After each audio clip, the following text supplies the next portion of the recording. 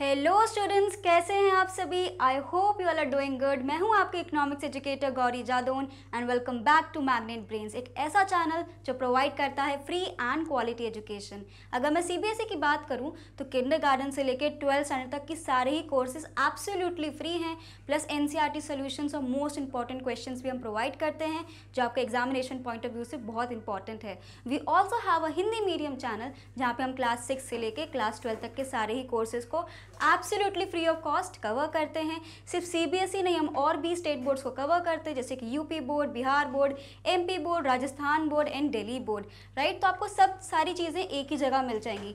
We also provide e notes and e books जिसकी link description box में given है तो एक बार जाके आप ज़रूर चेकआउट कर सकते हैं। So without any further due like share and subscribe कर दीजिए चैनल को, क्योंकि इससे अच्छा चैनल आपको मिलेगा नहीं, जो आपके लिए एक वन स्टॉप सोल्यूशन है। पूरी स्कूल एजुकेशन का आपको सारी चीज़ें यहाँ पे मिल जाएँगी। N solutions important question plus आपके हर टॉपिक वाइज हम एक चीज़ों को कवर कर रहे हैं सारे टॉपिक्स को तो इससे अच्छा चैनल आपको कहीं मिलेगा राइट तो without any further due like share and subscribe कर दीजिए। तो जैसे कि माइक्रो इकोनॉमिक्स हम पढ़ रहे थे क्लास इलेवेंथ में अकॉर्डिंग टू सीबीएसई हम ऑलरेडी एक थ्योरेटिकल पोर्शन उसको कंप्लीट कर चुके हैं। क्या क्या पढ़ा था हमने? एक बार क्विक रिविजन करते हैं। सबसे पहले हमने पढ़ा कि भाई इकोनॉमी क्या होती है। तो हमने जाना कि economy is a system way people get a chance to earn a living है ना? तो हमने वो सारी चीज़ें पढ़ी। फिर हमने पढ़ा कि भाई इकोनॉमिक प्रॉब्लम क्या होता है? स्कैरसिटी क्या होता है? Then central problems of economy को पढ़ा। उसके बाद हमने बहुत ही इंपॉर्टेंट कॉन्सेप्ट पढ़ा था पी पी एफ़ जिसका बहुत डिटेल में मैंने वीडियो बनाया है। हर एक चीज़ उसमें मैंने कवर करी थी। हमने उसके एजम्पन्स पढ़े थे। शेड्यूल कैसे बनाना है? ग्राफ कैसे बनाना है? उसका रोटेशन कैसे होता है? शिफ्ट कैसे होता है? ये सारी चीज़ें पढ़ी। पॉजिटिव और नॉर्मेटिव स्टेटमेंट्स के बीच में हमने अंतर पढ़ा। मैंने एक एक्सरसाइज भी कराई थी जिसमें अराउंड मैंने एट क्वेश्चंस अराउंड लिए थे। और मैंने आपको बताया था कि कौन सा पॉजिटिव है, कौन सा नॉर्मेटिव है। एंड देन हमने लास्ट में डिस्कस किया था कि भाई माइक्रो मैक्रो के बीच में डिफरेंस क्या होता है, जो बहुत इंपॉर्टेंट है आपके एग्जामिनेशन पॉइंट ऑफ़ व्यू से।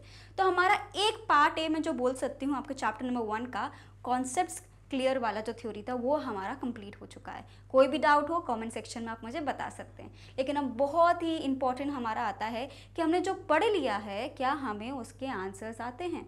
क्या हमें उसके क्वेश्चंस को आंसर करना आता है? उसको टेस्ट करने के लिए हम करने वाले हैं N C R T solutions ये N C R T solutions के बाद कहानी रुकने नहीं वाली है। हम एम सी क्यूज़ भी करेंगे और साथ में मोस्ट इंपॉर्टेंट क्वेश्चन को भी डिस्कस करेंगे। तब जाके आपका ये चैप्टर नंबर वन ओवर होगा। तो अभी ख़त्म नहीं हुआ है। अभी तो सिर्फ़ एक हमने पार्ट कंप्लीट किया है हमारी ये कहानी का। अभी बहुत सारी चीज़ें बची हैं, बहुत अटेंटिव रहना है एनर्जेटिक रहना है।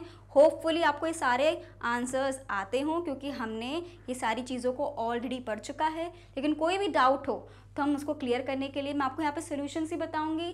ठीक है? आपको भी कमेंट सेक्शन में मुझे अपने आंसर्स लिख के बताने हैं। पूरा पैराग्राफ वाइज मत लिखना। छोटे छोटे टॉपिक्स तो लिख सकते हो पॉइंट वाइज तो उससे मुझे क्लैरिटी आ जाएगी कि क्या आपको समझ आ रहा है कि नहीं आ रहा है। चलिए स्टार्ट करते हैं आज की क्लास जो कि हम डिस्कस करने वाले हैं N C E R T question ठीक है? चले आगे। चलो नंबर वन क्वेश्चन जो हमारा है that is discuss the central problems of an economy अब देखो, ये जो चीज़ यहाँ पे है ना central problems of an economy इसमें कई बार लोग गलती क्यों करते हैं? क्योंकि हमने दो चीज़ें पढ़ी हैं। एक हमने पढ़ा है कि इकोनॉमिक प्रॉब्लम ऑफ़ चॉइस के बारे में हमने पढ़ा था, जहाँ पे हमने अलोकेशन ऑफ़ रिसोर्सेज कैसे होता, उसके क्वेश्चंस पढ़े थे। उसमें भी तीन चीज़ें आती हैं। और सेंट्रल प्रॉब्लम्स ऑफ़ इकोनॉमी में भी तीन चीज़ें आती हैं। तो बच्चे कई बार कंफ्यूज हो जाते हैं आप सभी, है ना? कि कौन सा वाला हमें पार्ट अटैम्प्ट करना है। तो देखो central problems of an economy जो है टॉपिक अलग है। और अलोकेशन ऑफ़ रिसोर्सेस आपका टॉपिक एकदम ही अलग है। तो दोनों में बीच में डिफरेंस है तो उसको आपको याद रखना है। पहले मैं आपको ये वाली चीज़ें बता दूँगी, फिर साथ में अलोकेशन ऑफ़ रिसोर्सेज में क्या आंसर है, मैं वो भी आपको बता दूँगी। तो सारा जो डाउट है ना, एकदम क्लियर हो जाना है। ठीक है? चलिए स्टार्ट करते हैं। तो सबसे पहला जो क्वेश्चन है हमारा discuss the central problems of an economy five seconds दे रही हूँ। बस मुझे पॉइंट्स में बताओ। चलो हिंट भी दे दिया, सिर्फ़ तीन होते हैं। तीन मेजर होती हैं जिनको हम पढ़ रहे हैं। कमेंट सेक्शन में मुझे तुरंत लिख के बताओ कि वो तीन कौन कौन सी हैं। ठीक है? One two three four and five लिख दिया? कर दिया सबने टाइप मैं सारे कमेंट्स चेक करती हूँ, ठीक है? तो मैं देखूँगी भाई किस किस ने कैसे लिखा है। तो बिल्कुल भी इससे आपका रिवीजन ही होना है तो आपको बिल्कुल भी बचना नहीं है है ना? तो आपको अटेंड करना है क्वेश्चन को। सबसे पहले central problems of an economy हमारी तीन प्रॉब्लम्स होती हैं। कौन कौन सी होती हैं? एक होता है हमारे पास what to produce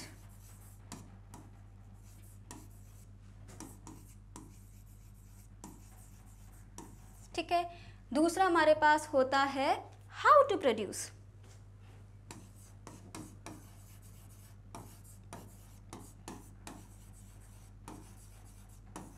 and third होता है हमारे पास फॉर होम टू प्रोड्यूस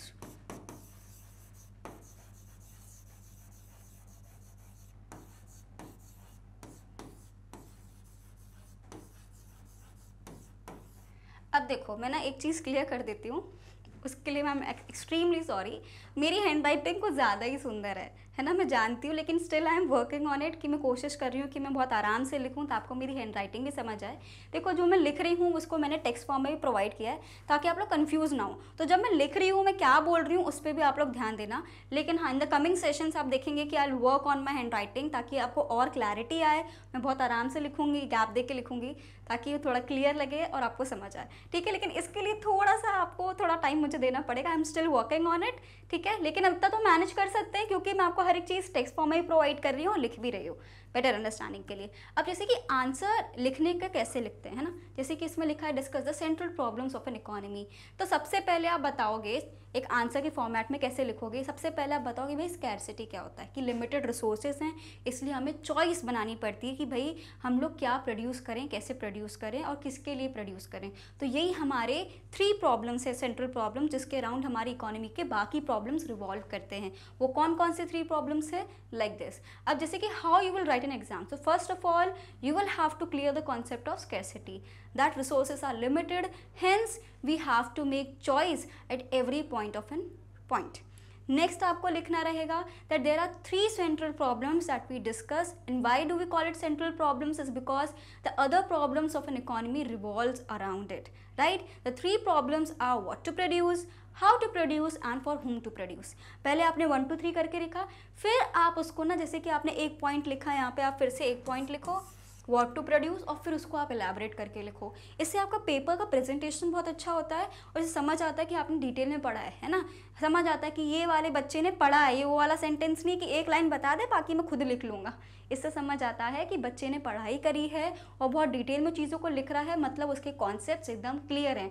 तो आपके मार्क्स अच्छे आते हैं और कॉन्सेप्ट भी क्लियर होता है। ठीक है? तो ये करना है। So discuss the central problems कौन कौन सी प्रॉब्लम्स है हमारे पास? सबसे पहले जो प्रॉब्लम आती है वो आता है, भाई वॉट टू प्रोड्यूस रिसोर्सेस हमारे पास इतने से वॉन्ट्स हमारी इतनी सारी है। और जो इतने से रिसोर्सेज है ना, उसके इतने सारे ऑल्टरनेट यूजेस हैं तो आपको इकोनॉमिक प्रॉब्लम ऑफ़ चॉइस करना पड़ता है कि इतने से रिसोर्सेज को मैं ऐसे कैसे यूटिलाइज करूँ कि मेरी सारी इकोनॉमी एक तरीके से बेटर फ़ंक्शन करे। है ना? तो हमारे पास तीन प्रॉब्लम आती सबसे पहले आता है वॉट टू प्रोड्यूस क्या ऐसा प्रोड्यूस करूँ? है ना? चूज़ करना पड़ेगा। कैसी सिचुएशन है मेरी इकोनॉमी की? अगर मेरे पास ऐसा लग रहा है कि हाँ एग्रीकल्चर फूड्स की शॉर्टेज है तो मुझे एग्रीकल्चर गुड्स में ज़्यादा एक तरीके से इन्वेस्ट करना पड़ेगा कि ज़्यादा हम उसमें वर्क करें। वहीं पर हमें लग रहा है कि ऐसी वॉर सिचुएशन आ रखी है है ना? कि इंडिया कभी भी वॉर में हो सकता है। तो उस टाइम पे हमें वैसे टाइप के गुड्स बनाने रहेंगे। तो उस टाइम पे हम वो गुड्स बनाएँगे। तो क्या सिचुएशन है इकोनॉमी में? उसके हिसाब से भी डिसाइड होता है कि व्हाट टू प्रोड्यूस क्या हमें बनाना है और कितनी क्वांटिटी में बनाना है। What to produce and in what quantity है ना? कितनी क्वांटिटी में बनाना है? आपने डिसाइड कर लिया कि हाँ ठीक है हम एग्रीकल्चर गुड्स लेकिन कितनी क्वांटिटी ऐसे अंधाधुंध तो हम अपने हिसाब से कुछ नहीं करने वाले, क्योंकि हम यहाँ पे एक तरीके से हमने इकोनॉमिक्स पढ़ा, एक साइंस है। एक स्टैटिस्टिकल डेटा होता है उसमें। हम चीज़ें कैलकुलेट करते हैं, अनुमान लगाते हैं एस्टिमेट लगाते हैं कि हमें इतना बनाना है। तो वो सारी चीज़ों को हमें ध्यान में रखना है। ठीक है? नेक्स्ट जो हमारे पास आता है हाउ टू प्रोड्यूस ठीक है?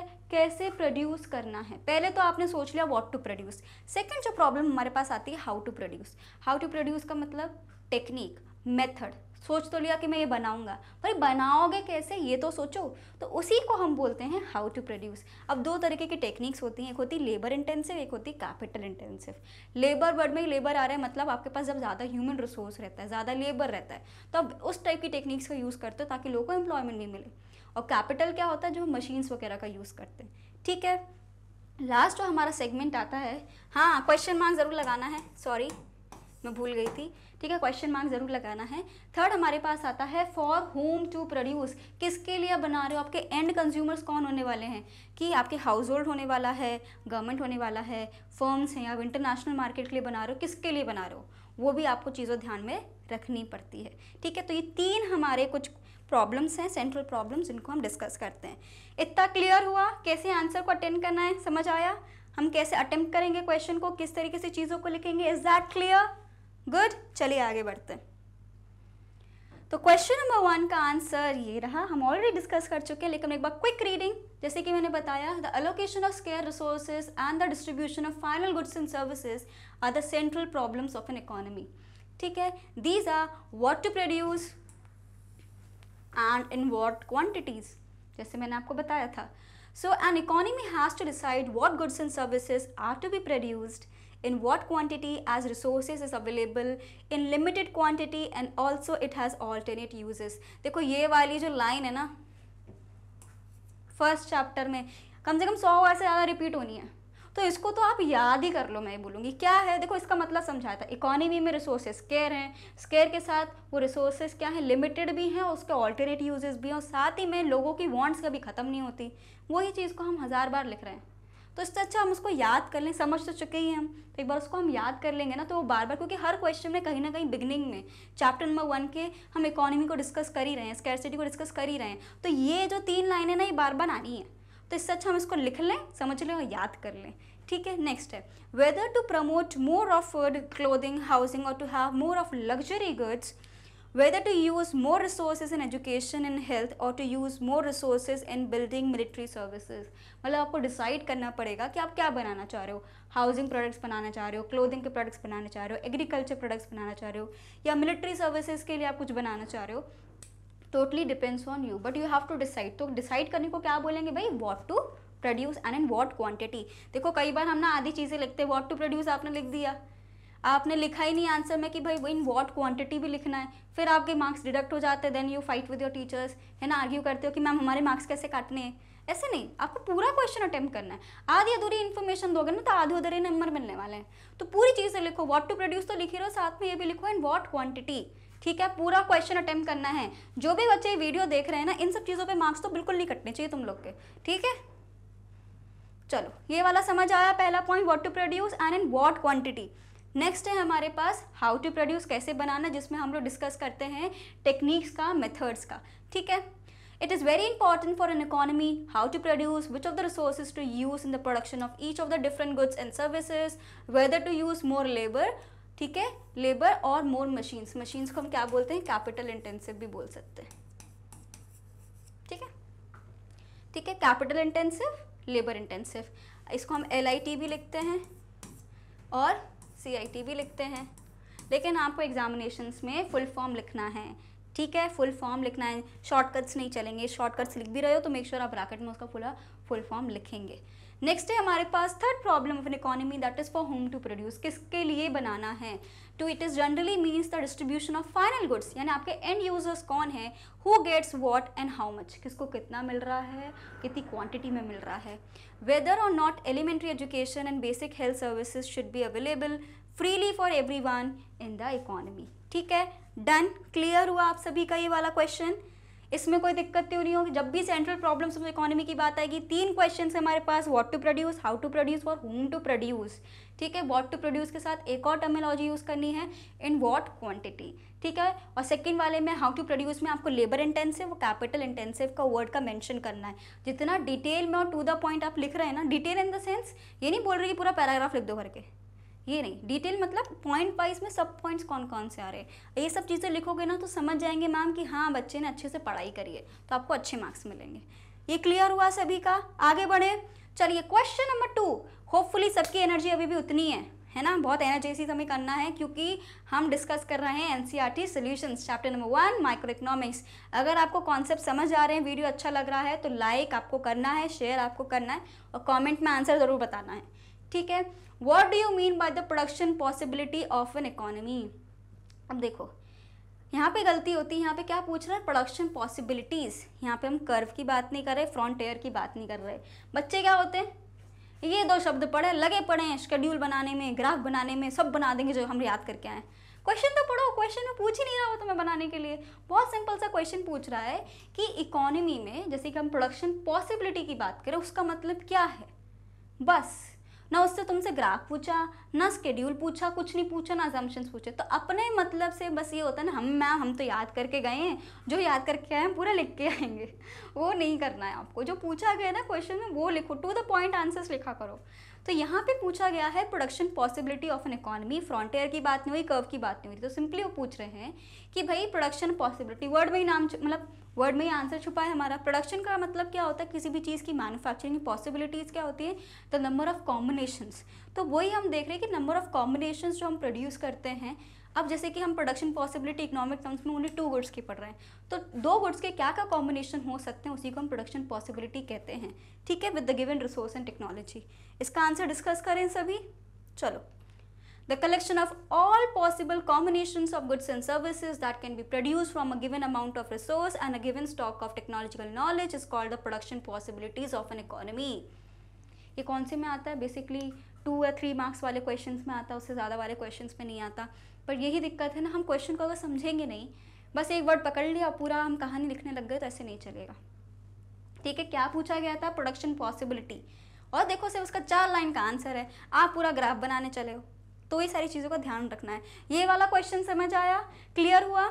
चलिए ग्रेट नेक्स्ट क्वेश्चन है हमारे अब आया ना क्वेश्चन हमारे पास। What is production possibility frontier अब आया है। जिसमें हम बोलते हैं पीपीसी ठीक है? या पीपीएफ इसको हम पीपीसी भी बोल सकते हैं ना? गलती से अगर तुम्हें पीपीसी आ गया तो बोलेंगे, मम्मी, कौन सी पीपीसी हमने तो सुना ही नहीं है। पढ़ा ही नहीं है। कुछ होते हैं एबसेंट माइंडेड जिनको पूरा वीडियो भी देख ले, फिर भी समझ नहीं आया। है ना? क्योंकि हमारा दिमाग कहीं और रहता है। तो मेंटली और फिजिकली दोनों तरीके से आपको रहना है और सारी बातों को पूरा समझना है। अब यहाँ पे आप बना सकते हो शेड्यूल भी बना सकते हो ग्राफ भी बना सकते हो। डिपेंड करता है कि कितने मार्क्स का क्वेश्चन आपको दे रहा है। अगर छोटे मार्क्स का क्वेश्चन है कम मार्क्स का क्वेश्चन है तो ज़्यादा आपको ग्राफ्स वगैरह बनाने की ज़रूरत नहीं है। आप सिंपली बस ऐसे भी ड्रॉ कर सकते हो, है ना? कि पीपीसी डाउनवर्ड स्लोपिंग होता है कॉन्केव टू द ओरिजन होता है। क्यों होता है डाउनवर्ड स्लोपिंग बिकॉज़ टू जैसे जैसे जो रिसोर्स एंड टेक्नोलॉजी को हम शिफ्ट करते हैं, वो इक्वली एफिशिएंट नहीं होते। इसलिए प्रोडक्शन लेवल गिरता है तो वो डाउनवर्ड स्लोपिंग है। कॉनकेव क्यों है भाई? क्योंकि एमआरटी और एमओसी इंक्रीजिंग रहता है, इसलिए कॉनकेव टू द ओरिजिन रहता है। प्रोडक्शन पॉसिबिलिटी फ्रंटियर बताता है ग्राफिकल रिप्रेजेंटेशन है दो गुड्स का, ऐसे कॉम्बिनेशंस का जो गिवन रिसोर्स एंड टेक्नोलॉजी के साथ बन सकते हैं और फ्रंटियर कर्व की लाइन पे जो भी प्रोडक्ट्स रहते हैं उसको हम क्या बोलते हैं कि वो हमने बहुत एफिशिएंटली अपने सारी चीज़ों को एम्प्लॉय कर रखा है रिसोर्स एंड टेक्नोलॉजी को। अगर कर्व के अंदर हमारा आ रहा है तो मतलब ये वो कॉम्बिनेशंस हैं मतलब जिसमें आप अपने रिसोर्सेज और टेक्नोलॉजी को अच्छे से यूज़ नहीं कर रहे तो आप बेहतरीन तरीके से यूज़ करना शुरू कर दीजिए। और अगर कर्व के बाहर है, आसमान में है, अलग ही हवा में उड़ रहे मतलब ये वो ऑप्शंस हैं जो आप अभी अचीव नहीं कर सकते। तो ये सारे पॉइंट जैसे कि मैंने पीपीएफ मेरे दिमाग में आया, ये सारे पॉइंट्स मेरे माइंड में तुरंत आ जाने चाहिए। ठीक है? तो आपको भी कमेंट सेक्शन में बताना है कि कौन कौन से क्वेश्चंस आप जैसे देख रहे हो तो आपके दिमाग में क्या आ रहा है। है ना इससे पता चलता है क्लैरिटी आती है कि हमारा जो कॉन्सेप्ट है कितना क्लियर है। ये वाला पॉइंट समझ आया सभी को? चलिए बट डिस्कस करते हैं ये वाला आंसर तो जैसे कि मैंने बताया कि यहाँ पे आप ऐसा कर्व बना दो, है ना, ज़रूरी नहीं कि हर बार स्केड्यूल बनाओ। आप देखो कि कितने नंबर ऑफ़ मार्क्स का वो क्वेश्चन है, ठीक है? Now, a curve showing different possibilities of two goods that can be produced with efficient utilization of given resource and technology that is known as production possibility frontier. मतलब पहली बात तो जब frontier आ गया curve आ गया मतलब graphical representation है तो पहली लाइन यही होती है it is a graphical representation किस चीज़ का? भाई कॉम्बिनेशन ऑफ़ गुड्स कौन से गुड्स अभी हम दो गुड्स ही ले रहे हैं। Combination of two goods that can be produce with given resource and technology because हमने अजम्पन्स पढ़े हैं जिसमें रिसोर्स एंड टेक्नोलॉजी हमने कॉन्स्टेंट रखी थी बट ट्रांसफरेबल थी। ठीक है? नेक्स्ट है हमारे पास in the above representation production possibility frontier between cotton and corn has been drawn हमने यहाँ पे ड्रॉ किया है। ठीक है? जहाँ पे point A B C D E ये वाले जो पॉइंट्स हैं which lie on the line that is on the curve represents the situation the resources of the economy are fully utilised तो ये जो ए बी सी हैं, हमने बहुत अच्छे से, बहुत अच्छा काम किया है वेल डन वाला काम किया है हमने। है ना? स्टार वाला काम किया ऐसे याद रखो। So while any points lie the curve से एफ़ जैसे कि मैंने बताया था एफ़ मतलब आपने अच्छे से काम नहीं किया, आप और अच्छे से कर सकते हो, और अगर यहाँ कहीं है मतलब अपनी दुनिया में हो, आप अचीव नहीं कर सकते उस चीज़ को। तो आपको कहाँ रहना है प्रोडक्शन पॉसिबिलिटी के अकॉर्डिंग आपको ये कर्व में रहना है। अगर आप ये कर्व पे रह रहे हो मतलब आपने अपनी सारी चीज़ों को बहुत अच्छे से यूटिलाइज करने की कोशिश करी, आप अच्छा काम कर रहे हैं। उसके अंदर है इनसाइड द कर्व है मतलब आपको और अच्छे से काम करने की ज़रूरत है, आपने ढंग से काम नहीं किया है। और अगर बाहर है तो मतलब आप सपनों की दुनिया में, वो अचीवेबल नहीं है अभी। ठीक है? क्लियर हुआ? चलिए। तो ये भी समझना है कि कौन सा क्वेश्चन कितने मार्क्स का आने वाला है, उसके हिसाब से मैं कैसे आंसर करना है। ठीक है? हर बार स्केड्यूल की ज़रूरत नहीं होती है। Next discuss the subject matter of economics अब देखो सब्जेक्ट मैटर पे बाद में आना, सबसे पहले आप इकोनॉमिक्स को डिफाइन करना। एक ऐसी स्टडी जो डिसाइड करती है इन टर्म्स ऑफ़ स्केरसिटी हम लोग कैसे चॉइस मेक करें, उसी को हम इकोनॉमिक्स बोल सकते हैं। तो पहले आप इकोनॉमिक्स को डिफाइन करो, फिर आप सब्जेक्ट मैटर पर आना कि हम क्या पढ़ते हैं। भाई माइक्रो लेवल पर भी पढ़ते हैं मैक्रो लेवल पे भी पढ़ते हैं। माइक्रो में आई आता है I is for individual macro में ए आता है ए फॉर एग्रीगेट माइक्रो का मतलब होता है कि इंडिविजुअल यूनिट ऑफ़ इकोनॉमी को स्टडी कर रहे हो। मैक्रो का मतलब होता है एग्रीगेट लेवल पे स्टडी कर रहे हो। तो ये एक तरीके से आपको आंसर करना है है ना? चलिए इसका पूरा हम एक्सप्लेनेशन देखते हैं। Discuss the subject matter of economics so the subject matter of economics has been studied under two broad branches that is micro economics and macro economics तो पहले पूरा माइक्रो इकोनॉमिक्स को एक्सप्लेन कर दीजिए। अब देखो इसमें डिफरेंस बिटवीन नहीं पूछा है। तो आपको डिफरेंस बिटवीन ऐसे बनाने की ज़रूरत नहीं है। आप बनाओगे तो गलत नहीं होगा, लेकिन मैं आपको जस्ट इन केस बोल रही हूँ, आप पॉइंट्स में भी एक्सप्लेन कर सकते हो कि माइक्रो इकोनॉमिक्स क्या है मैक्रो इकोनॉमिक्स क्या है, ऐसा डिफरेंस बिटवीन बनाना इट्स नॉट कंपलसरी ठीक है? एक बार क्विक रीडिंग करते हैं।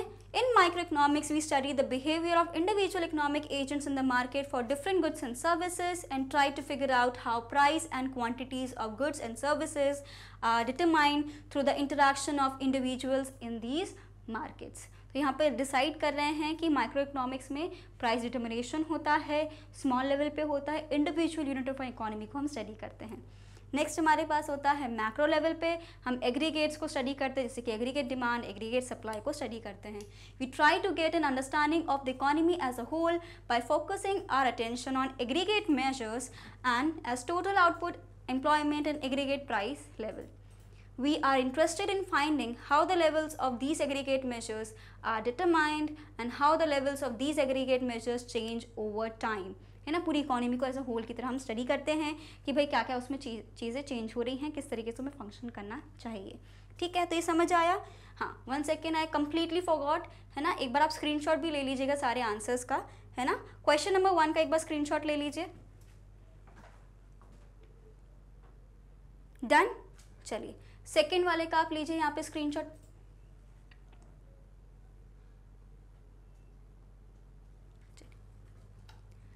क्वेश्चन नंबर सेकेंड का।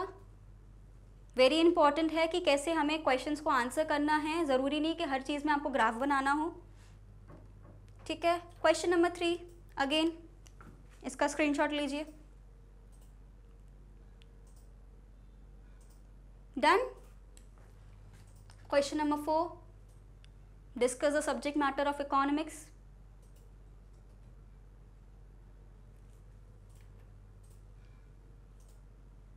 done chale question number 5 discuss or distinguish between a centrally planned economy and a market economy ठीक है ये भी क्वेश्चन आपसे बिल्कुल पूछा जा सकता है कि सेंट्रल प्लान इकोनॉमी कैसी होती है मार्केट इकोनॉमी कैसी होती है और उन दोनों के बीच का क्या डिफरेंस रहता है, ठीक है? जैसे कि सेंट्रल प्लान में दिया हुआ है कि यहाँ पे बेसिकली तरीके से गवर्नमेंट का इंटरवेंशन रहता है, हर तरीके से प्रोडक्शन फैक्टर्स ऑफ़ प्रोडक्शन सभी को पता है कौन कौन से होते हैं?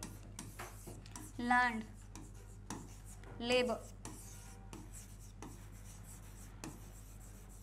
okay capital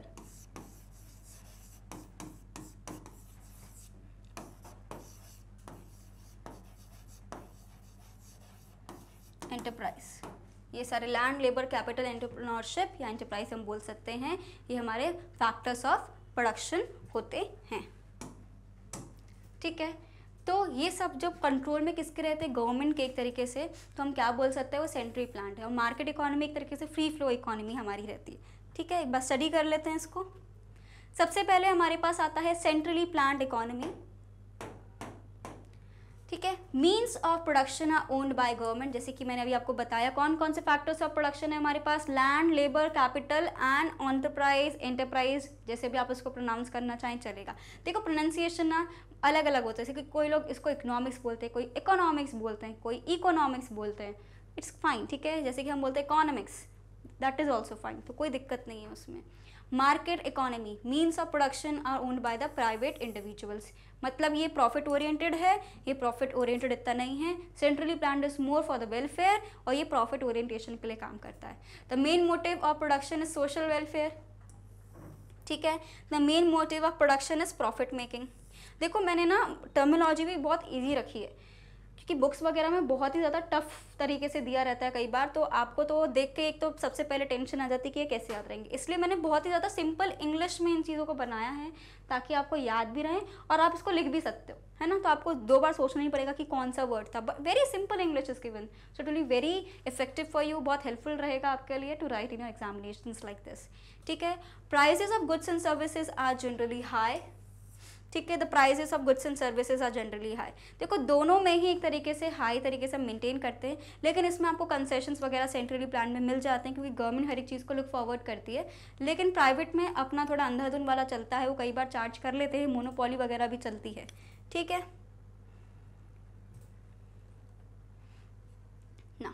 The production is govern by planning mechanism that is according to the government plans तो सारे जो प्लान्स हैं, सब चीज़ें हैं, वो अकॉर्डिंग टू द गवर्नमेंट चलता है। मार्केट इकोनॉमी की बात करूँ तो the production is government by price mechanism that is by demand and supply the inequality of income is low because यहाँ पे गवर्नमेंट एक रोल प्ले कर रही है। कोशिश कर रही है कि सोशल वेलफेयर हो। यहाँ पे इनकम इक्वालिटी ज़्यादा होती है बिकॉज़ ये लोग तो सिर्फ़ एक तरीके से प्रॉफिट अर्निंग के लिए आए तो लोगों के लिए काम करना is not their major concern their main concern is to earn more and more profit तो उसमें कहीं ना कहीं वो गैप जो है इनक्वालिटी जो है, वो बढ़ जाती है। ठीक है, एक बार इसका सभी जल्दी से स्क्रीनशॉट ले लीजिए। ठीक है? ले लिया सभी ने स्क्रीनशॉट कोई इशू तो नहीं हुआ? चलिए ठीक है, ये सारे ही आपको अपने कॉपीज़ में भी बनाना है, ताकि आपको हर एक चीज़ याद हो। बहुत सिंपल इंग्लिश में मैंने ये चीज़ें आपको प्रोवाइड करी है। आप बुक वगैरह से देखेंगे तो कई बार बहुत कॉम्प्लिकेटेड लैंग्वेज रहती है तो हमारे लिए उसको याद करना बहुत डिफ़िकल्ट हो जाता है। That is why I have given this ये आपके लिए ईजी टू रिमेंबर होगा और आपके लिए अच्छा रहेगा। ठीक है? नेक्स्ट क्वेश्चन पे आते हैं। What do you understand by positive economics analysis positive normative हमने पढ़ा है? ठीक है? पॉजिटिव मैंने क्या बोला था? एक तरीके से हमें क्या बताता है? रियलिटी कि भाई इंडिया की पॉपुलेशन बहुत ज़्यादा है। ये रियलिटी है। ठीक है? इंडिया में अनएम्प्लॉयमेंट रेट है। बिल्कुल है। अनएम्प्लॉयमेंट हमारे इंडिया में है। ठीक है? और कोई, जैसे कि हम जो रियल लाइफ प्रॉब्लम्स को डिस्कस कर रहे हैं कि इन्फ्लेशन अभी राइस पे चल रहा है तो ये सारे क्या हैं? ये फैक्ट्स है। ठीक है? दीज ऑल आर फैक्ट्स तो ये क्या है? वेरीफाइबल हैं, क्योंकि हम इसको वेरीफाई कर सकते हैं चीज़ ऑलरेडी रियलिटी है, हम उसको स्टैटिस्टिकल डेटा के थ्रू एनालिसिस के थ्रू वेरीफाई कर सकते हैं। लेकिन वही मैं बात करती हूँ नॉर्मेटिव इकोनॉमिक्स की, उसमें क्या होता है, मैंने नॉर्मेटिव्स आपको बोला था, याद रखना रिलेटिव्स जैसे कि वो हर चीज़ में सजेस्ट करते रहते हैं ना टोका टाकी चलती रहती है, अरे ये कर लो, वो कर लो, अगर ऐसा हो जाता तो वैसा होता, ये करना चाहिए था इसने, ये क्यों कर लिया तो वैसे ही एक तरीके से नॉर्मेटिव इकोनॉमिक्स में हम सजेशंस प्रोवाइड करते हैं कि यार ऐसा होना चाहिए। जैसे कि मैंने आपको एक फैक्ट बताया कि इंडिया में अनएम्प्लॉयमेंट है, ये फैक्ट है। तो हमने क्या सजेस्ट किया कि यार गवर्नमेंट को कुछ काम करना चाहिए कि अनएम्प्लॉयमेंट लेवल कम हो। तो यहाँ पे मैंने सजेस्ट किया should be would be must be ऐसा करना चाहिए। जब भी ऐसे शब्दों का प्रयोग हो रहा है, ऐसा सिचुएशन बन रही है तो हम उसको नॉर्मेटिव साइंस में लेते हैं। और यहाँ पे क्या है, ये पॉजिटिव साइंस में है। ठीक है, जहाँ पे फैक्ट्स की बात हो रही है रियलिटी की बात हो रही है। एग्जाम्पल्स दोगे ना कॉमिक्स में जितना ज़्यादा, उतने ज़्यादा मार्क्स भी मिलते हैं, उतना ज़्यादा आपका कॉन्सेप्ट क्लियर रहता है। हमें डेफिनेशन याद नहीं रहती, हमें एग्ज़ाम्पल ज़्यादा याद रहते हैं। और उस एग्ज़ाम्पल से हम फिगर आउट कर सकते हैं कि यार, हमें कैसे आंसर करना है। So that is why it is very important कि आप अपने एग्जाम्पल्स भी याद रखें और एग्जाम्पल्स को ज़्यादा से ज़्यादा लिखें। ठीक है? चलिए। Positive economics deals with what is what was and how an economic problem facing the society is actually solved by analyzing various positive statements and mechanism. These statements can be tested, proven or disproven and do not involve any personal value judgments. मतलब जो है सो है जो है हम वही बता रहे हमारे यहाँ पॉवर्टी है तो है तो मैं जो सिचुएशन है उसको वैसे ही बता रही हूँ आपको उसमें कुछ अलग नहीं कर रही तो मतलब क्या है कोई पर्सनल वैल्यू जजमेंट्स नहीं है लेकिन नॉर्मेटिव में पर्सनल वैल्यू जजमेंट्स बिल्कुल रहते हैं ठीक है? एग्ज़ाम्पल इसका है that India is an over populated country ये तो सच्चाई है कि भाई ओवर पॉपुलेशन तो है। पॉपुलेशन को कंट्रोल करने की बहुत ज़रूरत है हमें। नेक्स्ट है हमारे पास India have adopted mixed economy बिल्कुल हमारी मिक्सड इकोनॉमी चलती है, जहाँ पे सेंट्रल और प्राइवेट दोनों एक पार्टनरशिप की तरह काम करते हैं। वेलफेयर भी रहता है प्रॉफिट ओरिएंटेशन भी रहता है, दोनों चीज़ों को मिक्स करके ताकि इंडियन इकोनॉमी अच्छे से डेवलप कर पाए। तो दोनों का ही हमारे पास एक तरीके से मिक्सचर है that is mixed economy clear इसका स्क्रीन ले लें सभी। जल्दी जल्दी लेना स्क्रीन है ना? क्विकली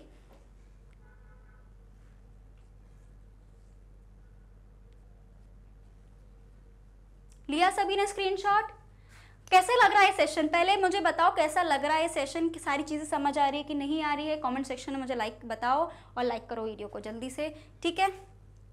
चलो नेक्स्ट है हमारे पास what do you understand by normative economics इसका आंसर मैंने पहले ही बता दिया तो मैं जब मैं पॉजिटिव की बात कर रही थी, है ना? तो डायरेक्टली हम आंसर पे आ जाए? चलो। Normative economics analysis deals with what ought to be और how an economic problem should be solved. कैसे चीज़ें होनी चाहिए?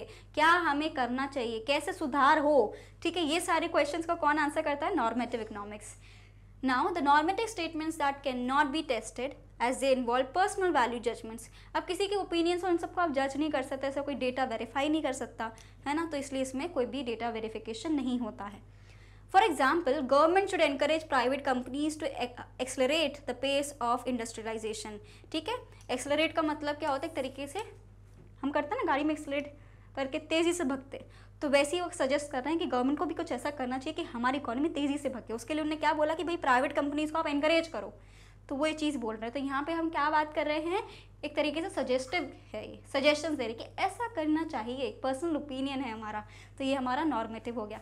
प्लीज़ गिव एग्जाम्पल्स एग्जाम्पल्स के बिना इकोनॉमिक्स का कोई मतलब नहीं है। तो जो भी आप आंसर लिख रहे हो, उसमें एग्जाम्पल्स होना कंपलसरी है। और एग्जाम्पल्स ऐसा नहीं कि मैंने आपको पढ़ाया नहीं आपको हर एक चीज़ का एग्ज़ाम्पल दे रही हूँ ना मैं यहाँ पे। तो तुम लोग को भी एग्जाम्पल्स अपने एग्ज़ाम में लिखने हैं, अपने पेपर में लिखने हैं, अपने दिमाग में छापने हैं सबसे पहले? तो पेपर में तो बाद में लिखेंगे। अपने दिमाग में कॉन्सेप्ट को क्लियर करो और ये बिल्कुल आपके एग्जाम्पल्स रहने चाहिए आपके दिमाग में। ठीक है? चलो नेक्स्ट क्वेश्चन पे बढ़े। इसका स्क्रीनशॉट ले लिया था क्या? चलो, एक बार फिर से ले लो। डन आगे बढ़ते हैं। Question number eight discuss sorry discuss एक बार तो डिस्टिंग्विश को बार बार डिस्कस पढ़ रही हूँ मैं। Distinguish between micro economics and macro economics दोनों के बीच में डिफरेंस बताइए। बहुत बार बार आएगा ये क्वेश्चन ठीक है मैक्रो में भी पहले चैप्टर में पूछ लेते हैं माइक्रो में भी पहले चैप्टर में पूछ लेते हैं। तो इलेवन ट्वेल्व दोनों में काम आना है। ठीक है? मैं फिर से बता रही हूँ ऑलरेडी हम इसको बहुत बार डिस्कस कर चुके हैं। स्टार्टिंग में भी मैंने वीडियो आपको बताया था कि माइक्रो में क्या क्या आता है मैक्रो में क्या क्या आता है। ठीक है तो हम ऑलरेडी डिस्कस कर चुके हैं। एक बार फिर से डिस्कस कर लेते हैं, है ना? सबसे पहले तो आपको ये लिखना है कि पहले यहाँ पे माइक्रो इकोनॉमिक्स लिख दो, यहाँ माइक्रो इकोनॉमिक्स लिख दो। माइक्रो इकोनॉमिक्स को और क्या बोलते हैं, उसका क्या टर्मोलॉजी एक और हम यूज़ कर सकते हैं थ्योरी बोलते हैं उसको। वो थ्योरी का क्या नाम है कमेंट सेक्शन में मुझे लिख के बताओ और मैक्रो का भी बताओ। ठीक है? अभी करना है, बिल्कुल type it studies individual economic units हम ऑलरेडी पढ़ चुके हैं कि माइक्रो लेवल पे आई से मतलब इंडिविजुअल तो मतलब इंडिविजुअल इकोनॉमी को हम स्टडी करते हैं उसके यूनिट्स को। ठीक है? मैक्रो में क्या स्टडी करते हैं? एंटायर इकोनॉमिक यूनिट को हम स्टडी करते हैं। नेक्स्ट हमारे पास आता है it deals with how prices and quantities of goods and services are determined in individuals market individual market को स्टडी करते हैं, उसका प्राइस डिटर्मिनेशन देखते हैं। It deals with how general price level and quantities of goods and services are determined in entire economy. यहाँ पे individual market का कर रहे थे, यहाँ पे पूरी इकोनॉमी का हम कर रहे हैं, जैसे कि जीडीपी वगैरह हम सब निकालते हैं। It uses the method of partial equilibrium that is equilibrium in one market one sector of economy के हिसाब से हम चीज़ों को देखते हैं। वहीं पे जब मैं बात करती हूँ मैक्रो इकोनॉमिक्स की तो it uses the method of general equilibrium that is equilibrium in a markets सारे ही market of an economy all markets of an economy clear हुआ? जल्दी से स्क्रीनशॉट ले लीजिए।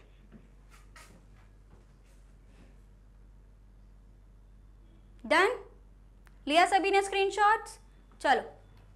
Next the major micro economic variables are price individual consumers demand wages rent profit revenue etcetera The major macroeconomic variables are aggregate price, aggregate demand, aggregate supply ये सब। वही सारी चीज़ें हैं। मैंने क्या बोला ये तो अपनी बुक उठाओ माइक्रो इकोनॉमिक्स जो भी तुम्हें दिख रहा है ना इंडेक्स में जितने भी सारे एग्जाम्पल्स लिख देना कोई दिक्कत नहीं है सही होने वाले हैं ठीक है? कॉस्ट हो गया रेवेन्यू हो गया एक इंडिविजुअल मार्केट का ठीक है? डिमांड लिख दो सप्लाई लिख दो सारे हमारे माइक्रो इकोनॉमिक्स में आ जाएँगे। माइक्रो इकोनॉमिक्स में नेशनल इनकम एग्रीगेट्स आ गया ठीक है? सारे aggregate supply demand inflation employment GDP सारे किसके बांटना है? मैक्रो के ठीक है? सरदर्द खत्म। नेक्स्ट है हमारे पास it's central problems are price determination and allocation of resources हम देखते हैं कि कैसे रिसोर्सेज का एलोकेट करें और क्या हमारी एक तरीके से प्राइस डिटर्मिनेशन होने वाली इंडिविजुअल मार्केट यूनिट की। और यहाँ पे हम स्टडी करते हैं determination of level of income and employment in the economy ठीक है? मुझे आपको कमेंट सेक्शन में बताना है कि माइक्रो मैक्रो को और क्या बोलते हैं। ठीक है? कमेंट सेक्शन में आपको लिखना ही है। चलिए, समझ आया? एक बार इसका स्क्रीनशॉट ले लीजिए जल्दी से सभी। जल्दी जल्दी लेना है स्क्रीनशॉट ठीक है स्क्रीनशॉट के साथ नोट्स भी बनाने हैं। जैसे ही मेमोरी फुल होती है ना, जैसे ही उस पर नोटिफिकेशन आता है कि मेमोरी फुल हो रही है, सबसे पहले हम जाते हैं गैलरी पे, सारे स्क्रीनशॉट जितने भी रहते हैं, पढ़ाई वाले क्लिक किया ऑल डिलीट तो ऐसे मत करना। ठीक है, या तो अलग से फोल्डर बना लो, उसको फिर अपने ड्राइव पर अपलोड करते चले जाओ चैप्टर वाइज वो आपके लिए बहुत अच्छा रहेगा, क्योंकि जब हम एग्ज़ाम के एकदम दिन पढ़ पढ़ते हैं ना बिल्कुल एक रात पहले, फिर हम जब भराने लगते कि अब हम कहाँ से पढ़ें, क्या करें वहाँ करें वैसे अगर आप स्टार्टिंग से जुड़े हुए हैं हमारे साथ तो ये प्रॉब्लम नहीं आनी चाहिए, ठीक है? लेकिन अगर फिर भी एंड टाइम में पढ़ेंगे तो आप भराओगे कम। You will have all the things listed with you कोई भी चीज़ आपको दिक्कत नहीं होगी तो आप वो कर सकते हो। You can make a separate folder in your phone of all the content है ना? सारे स्क्रीनशॉट्स का। नहीं तो आप अपने वीकली बेसिस पे या चैप्टर वाइज अपने नोट्स बनाते चले जाइए, ताकि आपको बिल्कुल भी दिक्कत ना हो। Otherwise we also provide the e notes and e books जो आपको लिंक डिस्क्रिप्शन बॉक्स में गिवन है तो आप जाके एक बार चेकआउट कर सकते हैं। ठीक है? सभी ने इसका स्क्रीनशॉट ले लिया था ना? चलो, अब हम बढ़ते हैं। हमारा खत्म हुआ ये सारा क्वेश्चन का सेगमेंट्स टोटल हमने क्वेश्चंस को डिस्कस किया। एक क्विक ओवरव्यू हो गया हमारा, जब एनसीईआरटी सॉल्यूशंस हमने किए तो हमने काफ़ी चीज़ों को पढ़ लिया हमारे पॉइंट ऑफ़ व्यू से कि हमने क्या क्या कवर किया है है ना? मैंने आपको ये भी बताया साथ साथ में, क्योंकि चैप्टर नंबर वन है इसलिए थोड़ा डिटेल में बताया है कि कैसे आपको आंसर्स करने हैं, है ना? तो होपफुली सारी चीज़ें आपको समझ आई होगी। एक और मैं आपको फिर से बता देती हूँ कि मैग्नेट ब्रेन्स एक ऐसा चैनल है जो प्रोवाइड करता है फ्री एंड क्वालिटी एजुकेशन मैंने आपको N C R T solutions कराए। आने वाली क्लासेस में एम सी क्यू भी कराऊँगी इंपॉर्टेंट क्वेश्चन भी कराऊँगी। वी हैव ऑलरेडी डिस्कस का थ्योरी पूरा पार्ट हमने डिस्कस कर लिया है of chapter number one so all of these हमने आपको ऑलरेडी प्रोवाइड कर दिया है चैप्टर नंबर वन का और ऐसे आने वाले सीरीज़ में भी मैं सारा आपका पूरा सिलेबस कंप्लीट करने वाली हूँ, है ना? तो उसका तो आपको बिल्कुल टेंशन लेने की ज़रूरत नहीं है because it is absolutely free education and high quality हम प्रोवाइड कर रहे हैं. साथ ही में सिर्फ़ सी बी एस ई नहीं डिफरेंट स्टेट बोर्ड्स को भी हम कवर कर रहे हैं, जैसे कि Delhi board Bihar board UP board MP board and Rajasthan board हाँ सी बी एस ई के लिए किंडर गार्डन से लेकर ट्वेल्थ स्टैंडर्ड तक है और for Hindi medium channel class six से लेके क्लास ट्वेल्थ तक। E books and e notes available हैं, जिसके लिंक डिस्क्रिप्शन बॉक्स में गिवन है तो एक बार जाके आप ज़रूर चेकआउट करिएगा। We are on different social media platforms as well YouTube पे तो सब्सक्राइब करना ही है। उसके अलावा Facebook Instagram Twitter Telegram WhatsApp इन सभी जगहों पर भी आपको हमें फॉलो करना है, ताकि कोई भी अपडेट आपसे मिस ना हो। होपफुली आपको ये वीडियो अच्छा लगा हो and thank you for watching